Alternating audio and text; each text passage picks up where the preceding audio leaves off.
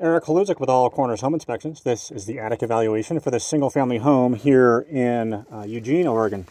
As with all the videos in this report, we would request that you view this video as supplemental to the written version of the report to which this video has been attached at the time of inspection. No significant reportable challenges were noted in the single family home's gable style roof. You will note that there are isolated signs of rodent activity here.